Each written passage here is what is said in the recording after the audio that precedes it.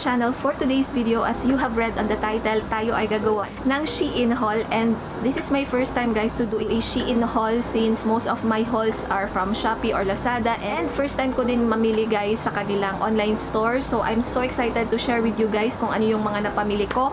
And by the way guys, this is not a sponsored video. Ma-assure ko kayo guys na lahat ng napamili ko ay super mura. Almost half the price, original prices nila kasi nga binili ko sila nung 11-11 sale and I believe yung mga items na ipapakita ko rin sa inyo ngayon are still on sale kasi ongoing yung kanilang Black Friday sale. So try to check this out guys kasi magaganda talaga tong items na ipapakita ko sa inyo. Below 350 pesos lahat ng mga items na napamili ko sa kanila guys. So if you're interested sa mga items na napamili ko from Shein, just continue watching. So guys, before we start with our try-on video, gagawin ko pala for this particular try-on haul is gagawa tayo ng expectation versus reality since napansin ko guys na yung model ng Shein are usually mga foreigners. So ilalagay ko yung mga pictures ng models dito sa screen and then I will flash my try-on. Para magka-idea kayo guys kung yung sizing is okay ba para sa mga Filipina build. So yun guys. And by the way guys, yung body measurements ko, ilalagay ko din siya sa description box together with the links of all of the items that I will be featuring for this haul. So yun guys, for the first item, the shirt that I am wearing right now guys, it is called the rolled up graphic t-shirt and by the way guys, particular shirt is their number one bestseller sa kanilang graphic t-shirt na category. Only got the black one guys and they also have three more colors for this particular graphic t-shirt. They have the blue, purple, and the gray one. Pero kinuha ko na lang yung black guys kasi gusto ko basic lang siya. So, doon sa model guys, if nakita nyo, pinair niya sa jeans. So, I believe maganda siyang i-pair sa any jeans. Mas gusto ko siyang i-pair sa high-waisted na jeans or shorts kasi mas maganda siya. Since this t-shirt is called rolled up t-shirt, way ng pagsuot ng shirt na to is tinatay siya either on the side or in the front. So, depende na sa inyo guys. Pero, okay lang din naman siyang i-insert lang sa jeans, especially if you are wearing a high-waisted jeans, hindi naman siya magsagwang tignan. Actually, mas bet ko nga naka-insert lang siya compared sa naka-rolled up or naka-tie. So, yun guys. Ang downside lang na nakikita ko for this t-shirt guys is yung tela na ginamit. Kasi, napansin ko yung tela nito guys is medyo manipis. Hindi siya nahahalata guys pag suot na kasi black nga yung kinuha ko. I don't know guys for the other colors pero para mas safe, I suggest na kunin nyo na lang either yung black or blue kasi hindi talaga siya nahahalata pag suot na na manipis yung tela. So, yun guys. Other than that, maganda yung print. Hindi talaga siya mahahalatang mura guys. And I got this one for only 264 pesos. I could rate this 4 out of 5. So guys, for the next item that I will be showing you is this high-rise biker shorts.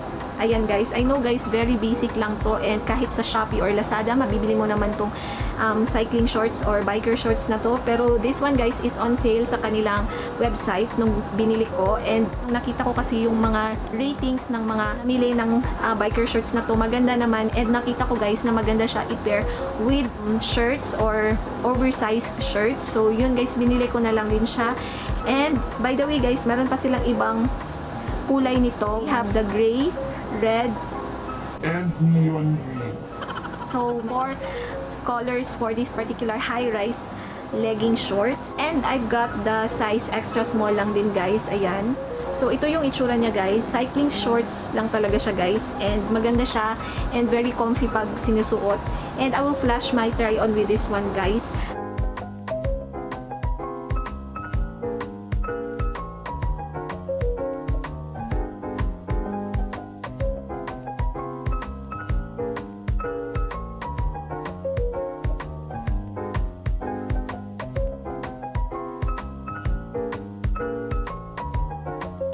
Rate ko sa kanya guys is 3.5 out of 5. Okay naman siya kasi ma-prepare ko siya sa mga oversized shirts. So, yun guys. Siguro sa lahat ng napamili ko sa Shein, ito yung least favorite ko. Pero, okay pa din siya guys. Magagamit ko pa rin siya. For the next item is another top. And this time guys, ano siya, blouse. Blouse type. So, ayun guys. Ito hindi ko pa talaga siya tinanggal sa kanyang um, bag. By the way guys, ang nakakaganda talaga sa Shein is yung packaging nila is on point. So, lahat ng mga clothing items nila is nakalagay sa ganitong lalagyan guys, ziplock and Pwede mo pang magamit yung mga um, packaging nila guys. Kung if ever magta-travel kayo kailangan yun ng mga ziplock na ganito. So marireuse nyo talaga siya guys. So the next item na ipapakita ko sa inyo is this.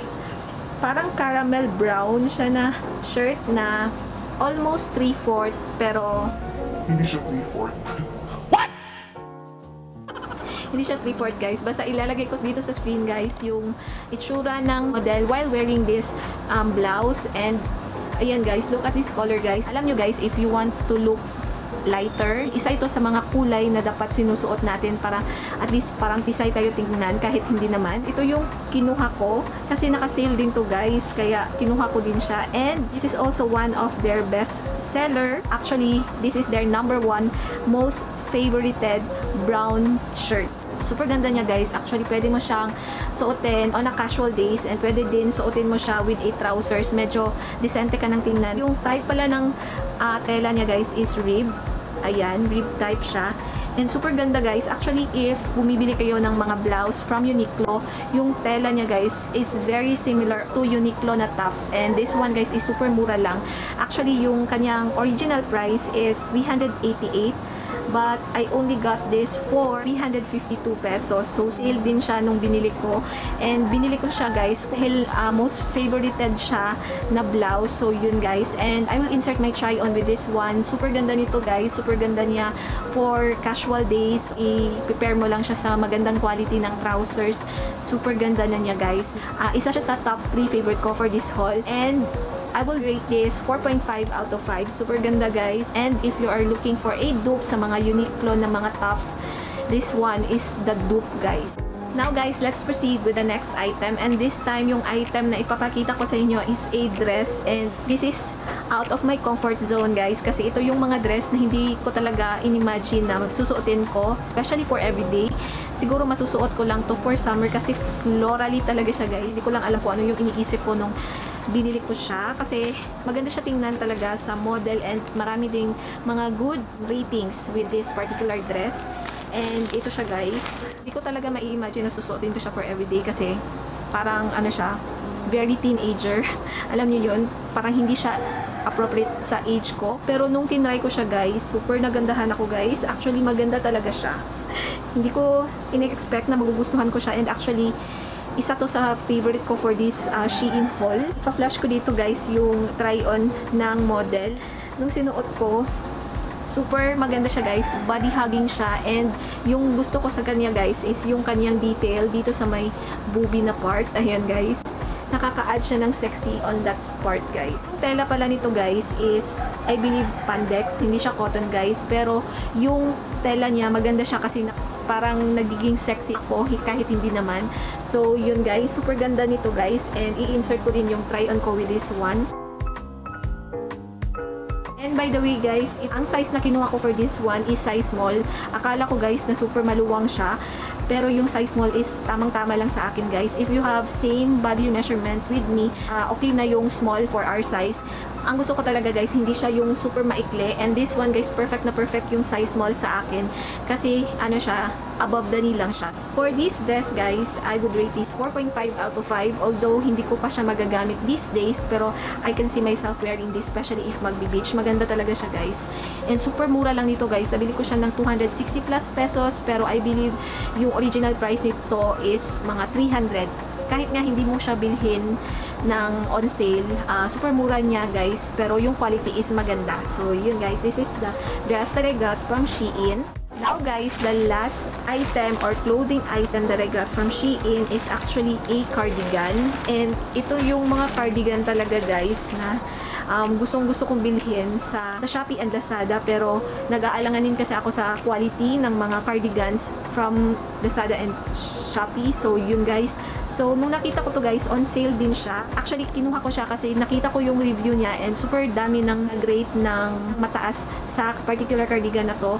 And this one is very basic lang na cardigan guys. Parang skin tone or beige and I've been wanting to buy this type of cardigan kasi gusto ko lang siyang gamitin pag nagde-dress or if ever yung top ko is medyo sexy and then hindi kasi ako masyadong comfortable wearing yung mga sexy tops outside so minsan nagdadala talaga ako ng cardigan na ganito. I've got a cardigan na color gray and never pa ako nagkaroon ng cardigan na ganitong kulay. So, yun guys, akala ko hindi siya mag-fit or hindi sakto yung size na nakuha ko. By the way guys, I got the medium one and based kasi sa mga ratings doon sa website nila is um, parang nakita ko na medium talaga yung para sa build ko. Ang nakaganda kasi sa Shein is yung kanilang rating section. Pwede mo i-add up yung iyong body measurement doon para meron ding idea yung mga customers na gustong bumili ng mismong item. Kung same kayo ng build, alam niyo yon meron kang idea na ay maganda siya sa akin